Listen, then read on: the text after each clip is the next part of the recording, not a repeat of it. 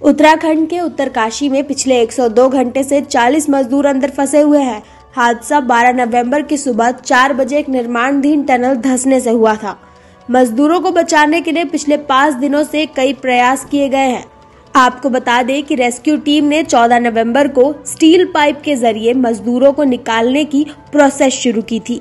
इसके लिए auger drilling machine और हाइड्रोलिक जैक की मदद से 35 इंच के डायमीटर का स्टील पाइप टनल के अंदर डालने की कोशिश की गई है।